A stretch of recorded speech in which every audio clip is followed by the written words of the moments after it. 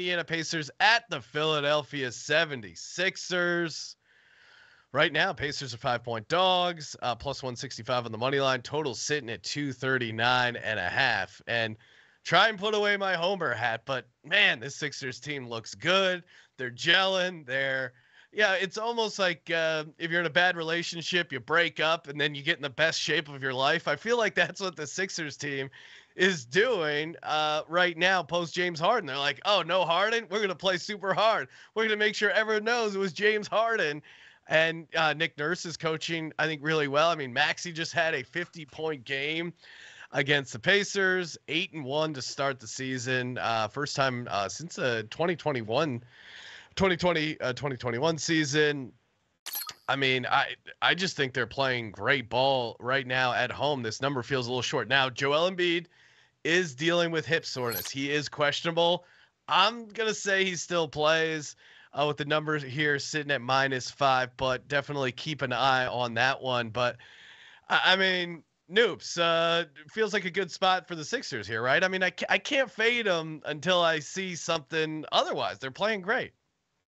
I will have to say that a lot of blame is being heaped on James Harden, as it should be. But let's not forget Glenn Rivers. The yeah. biggest part about Nick Nurse is he let them pass the ball again. Tobias Harris doesn't just have to stand in the corner and wait politely for something to happen. It's can I, can I have the ball, please? yes. I couldn't be happier as a fan. It's what I've wanted from the team for years and years and years. Uh, uh we talked about a bunch already. The Harden trade. I was just like, let's just get get him out of there, give Maxey the ball, and just sort of let it happen. It's been a, a ton of fun, but I think this is a tough spot here, Sean, because like you mentioned, Joel Embiid's questionable, and tomorrow night the Sixers play the Boston Celtics. And if there was ever a spot for a little bit of rest nonsense here, a little bit of, you know, let's take Embiid and put him down and make sure he's nice and good and ready to go for the Celtics, it would be tonight. Now, Embiid does love playing against Indiana. There's something about beating the, the crap out of Miles Turner that just really yeah. brings joy to him.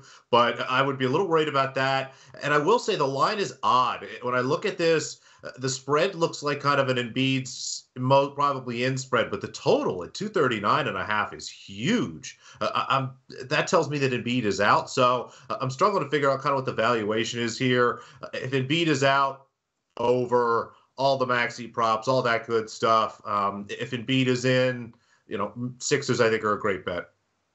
Yeah, and maybe I'm maybe I'm the rabbit, you know, like walking into the trap, but that carrot looks so good. I, I gotta I gotta try for it here. Uh, Chris, how say you on uh, Pacers Sixers? Any any thoughts on this matchup? The rabbit and the carrot metaphor. I like that, Sean. Yeah. Um, I guess this would be the spot for me to not play in the Sixers as well. You know, we saw line was at seven and a half in their in their previous game, so it's down to five now, which is a little respect for the Pacers too, right? They they still put up a ton of points in that last game. They run the floor, uh, you know, and they can catch any team kind of in that in maybe a spot that's not so ideal for the 76ers. But um, I kind of do agree with you, Sean. I mean, it's, it's why fade a team? You know, it's kind of like why play on the Clippers right now? Why fade the 76ers right now and what they're doing and how unified they're playing as a team? if they don't have Embiid, this could still be a game that they win. Uh, and I would say it would be an even faster paced game if that's the case. So, uh, you know, maybe look for another over on this one. They scored a ton of points in that first matchup. Uh, and I'm, I'm sure the 76ers are looking forward to the Celtics, but not a lot of other thoughts on this.